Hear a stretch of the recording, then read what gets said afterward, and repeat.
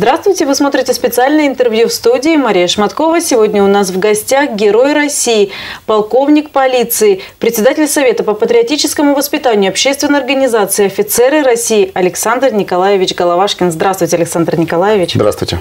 Очень рада вас видеть в нашей студии в канун Дня полиции. Сегодня хотелось бы поговорить о той большой работе, которую вы проводите с подрастающим поколением. И, конечно же, все то, что вас волнует сегодня. Что для вас ваша профессия? И как вы в нее пришли?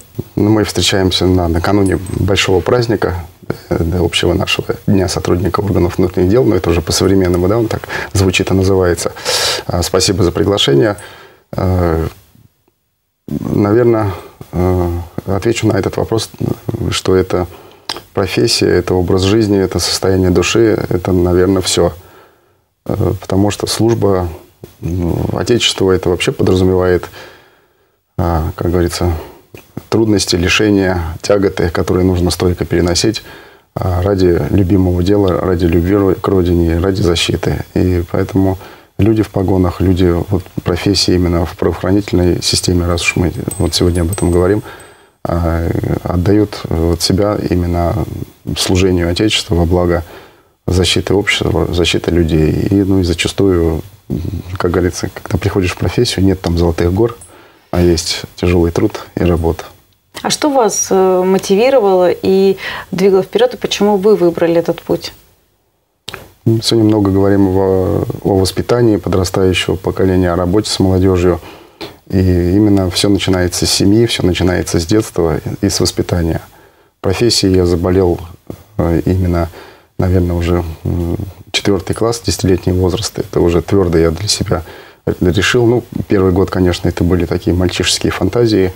А, ну, конечно же, этому послужило, вот, как я говорю, все идет из семьи. А, дедушка на тот момент был еще жив фронтовик, а, и я застал вот какое-то время вот этого своего детства в живых беседах именно с дедом. А папа на тот момент был капитаном милиции, и, и наверное, это сформировало вот э, в основе ну и, конечно же, э, период времени, который в нашей стране вот, э, ну, наступили выполнение интернационального долга в Афганистане. И мои старшие товарищи, с которыми я во дворе играл, гулял, э, также были вот после возвращения беседы. Некоторые из них присылали письма именно оттуда, с войны, которые я читал, мы переписывались, и вот меня это как-то вот готовило, формировало. Несмотря на то, что вы уже два года как э, офицер запаса, тем не менее ваша служба продолжается. Служба продолжается, да. Это не назовешь работой, а именно службой, совершенно верно. А, из профессии люди не уходят, и она продолжается. А, сейчас очень плотно и ну, не только вот эти два года, да, а, например, а, с момента награждения, скажем так, и представления к званию героя – патриотическая работа приняла такой в общем, как оборот. Вот, практически э, ну, патриотической работой невозможно заниматься как-то по расписанию или там пять дней в неделю и суббота, воскресенье, выходной. Она требует от тебя постоянного нахождения постоянной жизни и работы вот именно, чтобы отдавать э, себя, свои знания, ну, в частности, вот детям, молодому поколению. Ну, хотя и частая работа проходит и с курсантами, военнослужащими, которые также только-только пришли в профессию или там первые дни, первые месяцы службы в армии, поэтому работа идет. За последние годы в системе органов внутренних дел произошли колоссальные изменения. Как вы к ним относитесь? И, на ваш взгляд, сегодня стало сложнее служить? Не могу, наверное, ответить на этот вопрос однозначно когда начинаешь что-то новое, ну, ты, ты пришел в службу молодым э, офицером, и все у тебя впереди, ты безумно любишь свою профессию, ты не обращаешь внимания на какие-то э, моменты, где-то что-то тебе не хватает в экипировке, в оснащении или где-то. Ты просто идешь вперед к своей цели, ты счастлив просто, что ты в команде и находишься, вот, и, ну, занимаешься своим любимым делом. И, наверное, уже вот сейчас можно что-то так откатываться назад, вспоминать где-то что-то вот можно было бы изменить или что-то тогда не хватало. Но на тот момент как-то это было незаметно. Э, то, что изменения, конечно, да, произошли колоссальные. Ну, как и, наверное, брать весь силовой блок в нашей стране, если в частности то, что взять и армию, и МВД, это все равно нераздельно, потому что все мы э, защищаем Родину как за пределами э, наших рубежей, так и вот изнутри. Э, конечно же, современная экипировка, если брать какие-то там специальные подразделения, обычные, допустим, отделы также полиции по оснащению, по технике, она приходит ну, в нашу жизнь, поэтому приходят какие-то новые разработки, экипировка, оружие – Э, в общем, если делить как э, службу в полиции на отделы да, и блоки, то в каждой своей направленности есть все для выполнения качественно, профессионально, чтобы можно выполнить. То есть сейчас есть то, задачи. о чем, наверное, вы в свое время могли только мечтать или даже подумать не могли. О чем-то мы, да, не Наверное, не таким арсеналом большим вы в то время не располагали. Конечно, нет. Э, сегодня, но на, э, на сегодняшний момент э, служить более, наверное, более ответственно сегодня сейчас, потому что если брать опять систему МВД, она абсолютно прозрачна, мы постоянно на виду, общество видит то, что происходит, сотрудник не имеет, я считаю, права на ошибку и при выполнении задач, ну и, и если ты выбрал для себя эту профессию, и ты служишь Родине, и носишь звание российского офицера, именно в этом МВД, то, допустим, выходной день в отпуске или где-то ты не можешь а, вот сегодня быть на службе, ты так себя ведешь, а в выходной день или где-то ты ведешь себя по-другому. То есть ты постоянно... То есть это образ жизни? Это образ жизни. Но ты должен это понимать, что ты всегда на прицеле вот именно взгляда соседа, э, окружающих, общества. И в целом а, у нашей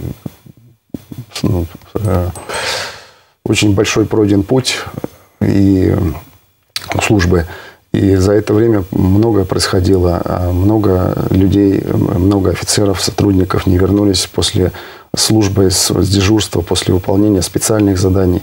И все это работает на то, чтобы создать вот образ э, и традиции, славные традиции. И все это написано кровью. И поэтому, придя на службу, ты должен понимать, что ты не имеешь права своими неправильными какими-то действиями или поступками а перечеркнуть вот то, что годами делалось э, до тебя. Поэтому ты должен только честно служить и приумножать чтобы только славные традиции росли. А молодое поколение, вот ребята, например, видели э, твою честно выполненную работу, и это их как-то завораживало, мотивировало, и они мечтали бы стать такими же. Поэтому вот, наверное, это я не, не о себе сейчас говорю, то как, как герой именно, а каждый вот сотрудник, каждый офицер, придя на службу, должен это понимать.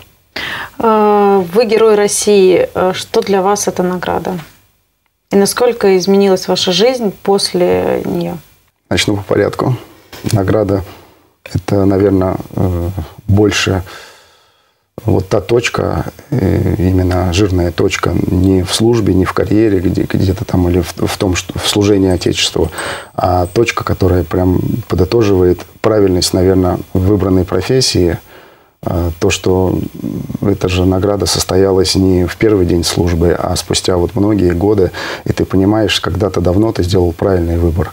А, звезда, награда коллективная, она вручена мне как э, сотруднику отряда специального назначения, в котором большой коллектив, это большая дружная семья. Один я не смог бы ничего сделать, это только работа в команде, а работа в отличной команде и честная работа. И вот это, наверное, э, вот эта точка, она и есть. Это именно вот правильность того, что ты делаешь, что, то, то, что ты делаешь честно и, и умело, потому что это тоже очень важно. Жизнь изменилась практически ну, полностью после награждения. А, не, здесь вопрос идет не о каком-то статусе или том, что где-то я почувствовал себя совсем другим человеком и э, очень там популярным, узнаваемым, и можно сидеть уже просто на диване и от этого получать удовольствие. Здесь э, просто добавилась э, огромная нагрузка и груз ответственности, о чем я вот только что говорил, то, что ты всегда на, на виду, то, что по твоим поступкам, действиям также судят о твоем подразделении, о твоей службе, о твоей семье и так далее. И как, э, когда был момент награждения, была уже беседа с президентом после торжественной части, и были напутственные слова. И Э, статус вот, героя, именно звезда, и он э, отмечает человека за особые заслуги перед страной и обществом, но в то же время как обязывает э, дальше э, служить обществу и, при, ну, и развивая, принося вот именно пользу, занимаясь патриотической работой и так далее, и так далее, и так далее. То есть это работа, это труд, ну, в принципе... Ну и, по сути, именно это событие послужило, наверное, таким основным э, толчком к тому, чтобы вы Э, начали так активно заниматься патриотическим воспитанием подрастающего поколения. Вы очень много проводите уроков мужества и не только на территории Одинцовского округа, но и в Подмосковье. Вы встречаетесь с курсантами, со студентами э, военных университетов и очень много времени уделяете именно этому. Почему для вас это так важно?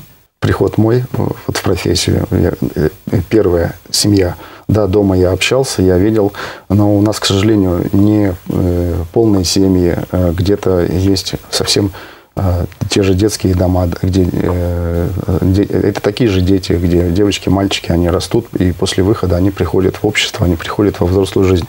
Соответственно, нужно готовить и работать, чтобы помочь встать вот именно на ноги, Э, и с выбором профессии. Я, когда встречаюсь э, с детьми, ну, особенно в школах, э, у меня нет такого призыва именно, что вы должны с оружием в руках, именно в офицерских погонах, защищать свою родину, и ничего другого в вашей жизни как бы быть не может. То есть абсолютно у каждого человека должен быть выбор. Поэтому все встречи именно такие, что быть достойным человеком, быть достойным гражданином, и в любой профессии можно добиваться вот успехов, прославлять Э, свою фамилию, свою семью, свою родину, свою школу и так далее. То есть быть просто достойным гражданином. И э, я в этом, ну вот, как момент увидел, если примеряя на себя, э, какие-то шаги, которые я делал в службе, на тот момент где-то не, не было возможности посоветоваться у кого-то, не, не было где-то рядом человека, у которого можно было бы спросить, как в какой-то ситуации себя повести. И был какой-то метод проб и ошибок небольшой. Э, сейчас в этом еще видишь, помимо того, чтобы ну, ребята уважали друг друга, любили своих родителей, знали э, историю своей страны и гордились тем, что они живут в России, э, хочется еще вот как раз в ком-то раскрыть, если в ходе бесед видно же, что дети начинают живо интересоваться, и из 10 человек два уже понимают или хотят, мечтают стать офицером, кто-то хочет в спорт или где-то. И ты на эту тематику начинаешь разговаривать. И вот подсказываешь э, именно в какое направление, с чего нужно начать, как себя нужно готовить. Но вы, глядя на этих ребят, вы видите в них потенциал? Несомненно, каждый ребенок. Э, плохих детей нет вообще. Это и с каждым нужно работать ну, ребенком, человеком нужно работать. И, и если где-то мы потом по каким-то моментам, критериям осуждаем, это наша недоработка, ну, взрослых. Потому что дети на то и есть дети, что нужно подать вовремя руку помощи и просто обратить внимание и, по, и помочь ему поверить э, в свои силы. И все. Дальше он все сам сделает. Э, э, молодежь ну, э, прекрасная. А сейчас, э, ну, каждый год, общаясь, общаясь, как бы видишь, что время не стоит на месте, поэтому все меняются, детки тоже совсем другие. А вот, ну, ну, замечательно. Но любовь к родине остается. Все, все это Маль- есть. У мальчишек глаза горят. Горят. Когда они особенно э, общаются с вами, слушают э, вас, что они говорят в завершении таких встреч? Наверняка ведь подходят, обмениваются мнением просят совет? Знаете, наверное, еще в чем вижу важность своей миссии, вот в частности о себе говорю, если по работе даже брать, ну, наш округ далеко не будем ходить, вот просто наш округ, да, наш город, и ты многих э, уже ну, знаешь учебные заведения, знаешь педагогов, преподавателей, у нас уже такие дружеские, товарищеские отношения, где мы на личных контактах, ты, э, тебя приглашают вот на какие-то мероприятия, не обязательно это праздники, а вот в обычные бытовые дни на тот же классный час.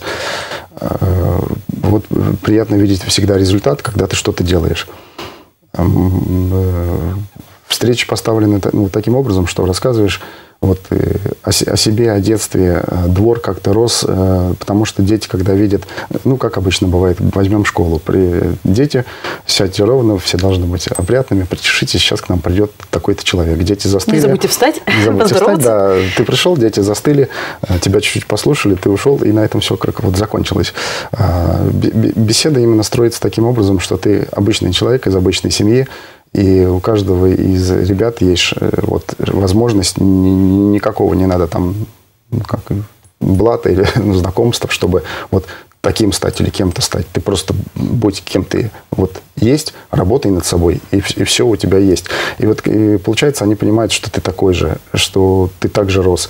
И, конечно же, снимается вот этот барьер, и они начинают задавать какие-то уже вопросы. Ой, а вы знаете, а как бы мне вот, а как тренироваться, а как нужно, а как вы учились? Вот здесь абсолютно надо быть честным. Что было, то было, рассказываешь. Эм, были как некоторые такие моменты. Как учился герой России Александр Николаевич? Вот, э, хорошо. Вот. Иногда как это, стабильно хорошо, среднее, и были четверки. Вот. Поэтому все остальное мы оставляем. Но, э, знаете, интересные э, вот эти встречи еще были, когда я проводил встречи с ребятами в своей школе, в которой учился, а там в школе преподаватели, которые учили еще меня. И... Вы учились в Ликинской школе, но это, наверное, э, вдвойне волнительно, когда ты возвращаешься в родную школу, Конечно. взрослым, совершенно в другом статусе, и уже делишься с такими же мальчишками и девчонками а, своей историей. Да, общаешься с ребятами, а в зале вот рядышком прямо перед тобой посидят твои учителя, а там директор зауч, который был на тот момент. И ты рассказываешь ребятам, а сам смотришь в глаза и видишь, как они тебя видят вот маленьким таким же. И когда начинаешь какие-то откровенные вещи, честные школьной жизни ребятам рассказывать, ну, именно отвечать на вопросы. Вот у нас был даже момент один такой, как про уроки как раз спросили, как я их делал или еще что-то. Я ответил ребятам. А сидит учительница, которая меня очень хорошо знает. Она так кулак так чуть-чуть показывает. Ну, то, что я потом подхожу, говорю, ну, вы же сами говорили, что нужно всегда говорить правду. Дети спросили, я ответил. Вот, такие интересные встречи. Но я тоже на каждой встрече что-то вношу себе, я учусь, э, пополняю себя. На самом деле у нас такой двухсторонний обмен идет э, не в одну сторону, что-то я там о себе рассказываю. Вот, ребят, я великий, здесь я бегал, тут я стрелял, вот все круто, я пошел. То есть, ну, именно вот я рассказал, ребята рассказали, я что-то себе взял, они видят, когда ты их слушаешь, и больше как-то раскрываются психологически, и можно беседа тогда получается совсем теплая. В Ликинской школе несколько лет назад был создан клуб военно-спортивной подготовки «Тайфун» имени героя России Александра Николаевича Головашкина. Когда к вам организаторы этого клуба подошли с таким предложением, что они хотели бы назвать клуб вашим именем, вы сразу э, согласились и сразу поддержали их в этом решении? Хорошая была инициатива, выслушал, э, было волнительно, э, подумал, конечно же, немного, потому что это когда твое имя – Э, присваивается и ну, где-то на каких-то мероприятиях. У, также у клуба есть знамя, и на знамени нанесена фамилия, поэтому это такая большая ну, все-таки ответственность. Хотелось бы вот сначала понял, что, э, что за мотивация, что за этим стоит, какие цели преследует. А, основной состав на тот момент был вот как раз ребят из Ликинской школы. Ну, часть ребятишек было Жаворонки, это рядышком практически совсем. Поэтому это а, практически многие дети, а, родители которых учились со мной или там чуть были младше, но они меня знают. Поэтому вот такая вот живая работа, как говорится, напрямую. Насколько сегодня вы активно участвуете в жизни клуба? Какие основные дисциплины есть? Чем занимаются мальчишки и девчонки? Потому что я знаю, что есть даже в клубе девчонки. Их немало. Да, девочки есть. А, клуб в данный момент вот переживает небольшие такие перестановки, что-то мы э, на какой-то новый этап выходим, потому что там а, в руководстве небольшие изменения произошли, но дети, дети остались, дети на месте. А, отряд существует, вот клуб работает. С руководителем мы на связи постоянно, и находится он здесь на, территории нашего города. На базе ДСАФ проходят тренировки.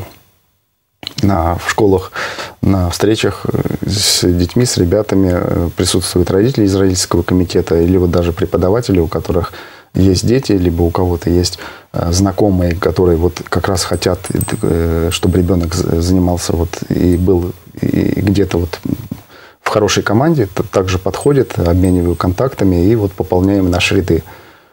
Ну, то есть это уже такая более профильная история, то есть для тех, кто задумывается в дальнейшем связать свою профессиональную деятельность э, со службой в органах внутренних дел или в армии, то это уже такая проверка себя. То есть стоит, не стоит идти в это направление. Но по сути это ранняя профориентация. Да, ранняя профориентация. Может быть, если старые добрые наши вот, э, уроки начальной военной подготовки, которые были в школе, потому что да, там, как вот сейчас многие говорят, что мы противники там где-то потому что там дети берут в руки оружие. Но вопрос там не встает, что сразу с первого дня надо пневматическую винтовку взять и в тире только стрелять. Там же идет изучение строевой подготовки, да, навыков, э, там, э, тоже также гражданская оборона, там правильно и умело вовремя э, использовать противогаз, знать какие-то вот азы тонкости. Это вот Курс молодого бойца, подготовка, да.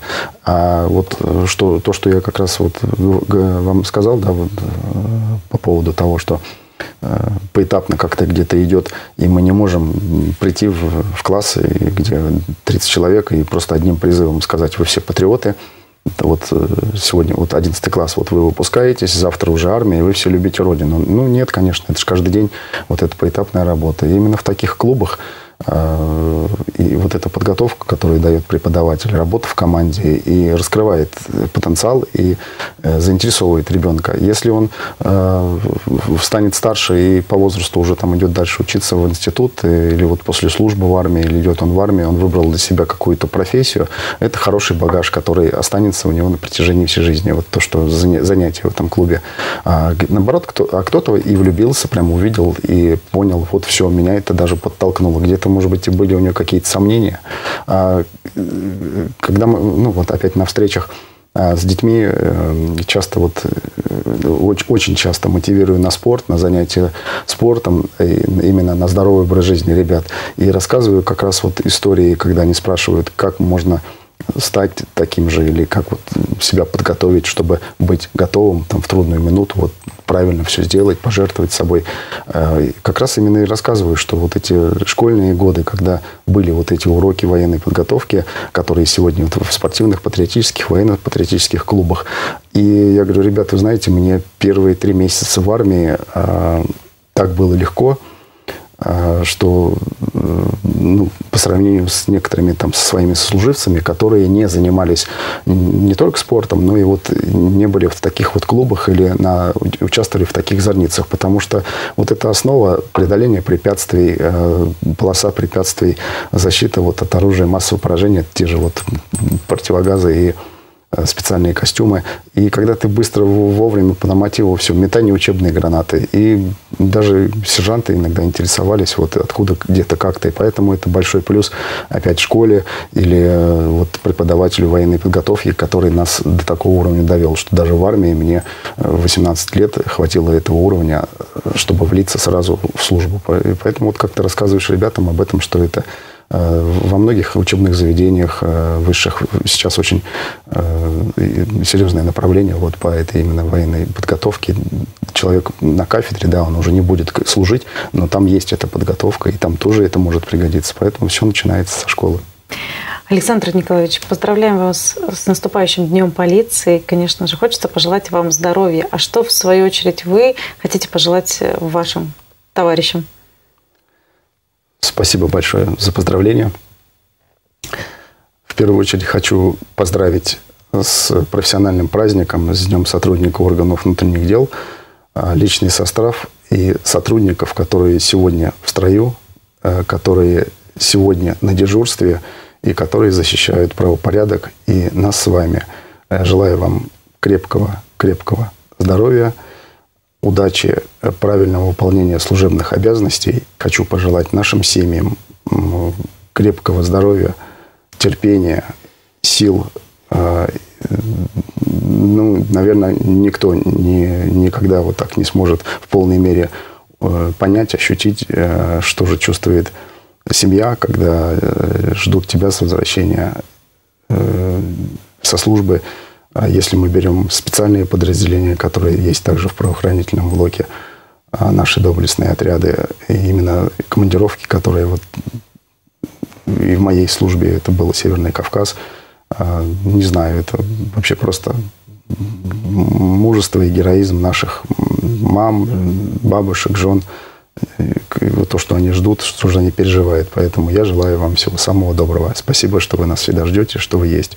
Я также хочу э, пожелать крепкого-крепкого здоровья нашим ветеранам, ветеранам службы. Потому что то, что сейчас мы с вами беседовали, рассказывали, я состоялся как профессионал, как сотрудник, благодаря вот и труду э, наших старших товарищей, на которых мы смотрели, на которых мы равнялись, э, которых э, ходили легенды в службе. И тот боевой опыт, который они отдавали ценой собственной жизни и здоровья, он помог нам в дальнейшем выполнять свои служебные обязанности. И глядя на труд ветеранов, мы также хотим, хотели быть такими же, и я уверен, что у нас получилось. Ну и хотел бы пожелать всем нам крепкого-крепкого здоровья, долгих лет жизни и благополучия мира и добра. Спасибо вам за интересное интервью. Спасибо большое. Вы смотрели программу «Специальное интервью». Оставайтесь на нашем канале. До свидания.